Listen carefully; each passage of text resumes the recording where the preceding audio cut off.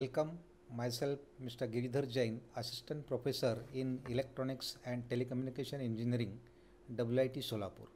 Now today I am going to explain voltage to current converters.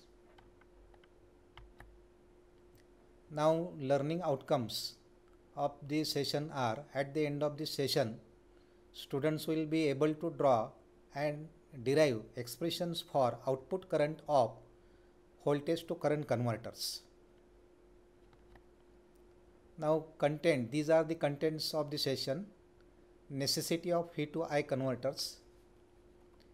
Second, V to I converter with floating load. Third is V to I converter with grounded load and differential V to I converter. Now think on the voltage transmission over a long wire. What problems will occur during the transmission? Now during transmission of voltage over a long wire, the potential drop takes place across the resistance of wire and due to this there is a reduction in voltage during transmission. Therefore, at the receiver end there is a voltage drop due to potential drop across the resistance. So, this is the problem in transmission of voltage over a wire. Now, to solve this problem, what is done at the transmission end the voltage is converted into current by using V to I converter. Current is transmitted over a cable and at the receiver end the current is again converted into a voltage. So this will solve the problem for transmission of voltage over a, a long cable or wire Now, first we'll understand V to I converter with floating load. So this is circuit. Now if we look at the circuit, circuit make use of the operational amplifier. Input is applied at non-inverting terminal and for inverting terminal there at inverting terminal there are two resistances RL and R1 as shown in the figure and load is floating means load is connected between the output and inverting terminal. Load is not connected to the ground. That's why it is called as floating load. Now considering ideal op amp voltage at inverting and non-inverting terminal should be equal that is V plus equal to V minus and voltage at V plus is V in. Therefore this is equal to V in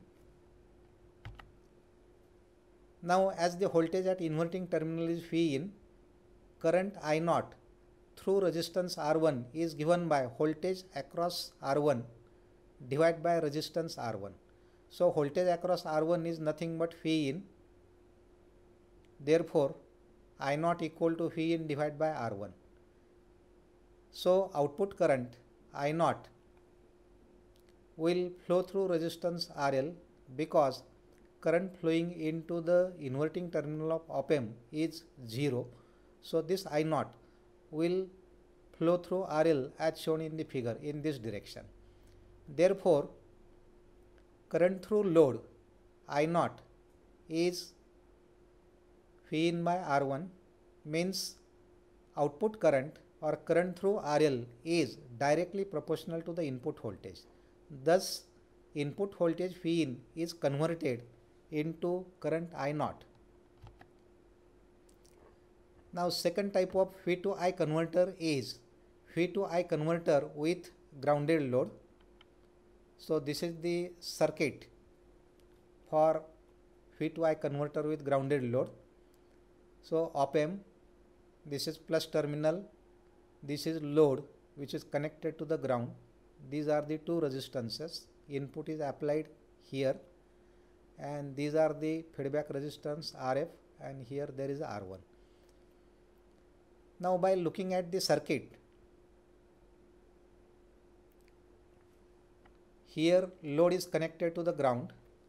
Now uh, this is point X. Now applying KCL at point X, we get I1 plus I2 is equal to IL and I1 is given by voltage across R divided by resistance R that is V in minus Vx divided by R and I2 is given by VO minus Vx divided by R. Substituting these values of I1 and I2 so this is I1 this is I2 I1 plus I2 is equal to IL. Simplifying further we get IL is equal to V in plus VO minus 2 V1 divided by R. Now looking at the circuit basic amplifier is a non-inverting type. Now voltage at non-inverting terminal is V1. Now gain of non-inverting amplifier is 1 plus Rf by R1. So output voltage VO is given by gain of amplifier multiplied by V1. Now select Rf is equal to R1 is equal to R. Therefore, gain of amplifier becomes 1 plus R by R. R by R is 1. So, gain of amplifier becomes 2. Therefore, VO becomes 2 V1.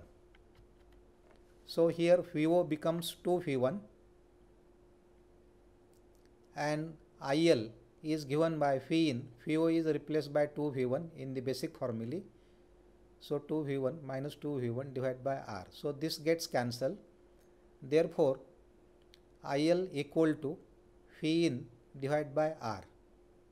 So, IL is the current flowing through load and it is given by V in divided by R means load current is directly proportional to the input voltage and proportionality constant is 1 by R. So, in this way the input voltage V in is converted into the proportional current through grounded load as shown in the figure. And here point to be noted is that the value of load current does not depend on the load. Whatever is whatever is the value of load the IL will flow through that load. Now we will study the last type of converter that is V to I differential V to I converter so this is circuit now in some applications uh, there is a requirement of converting differential input voltage to a proportional current. So here this is circuit. If we look at the circuit E1 and E2 are the two inputs.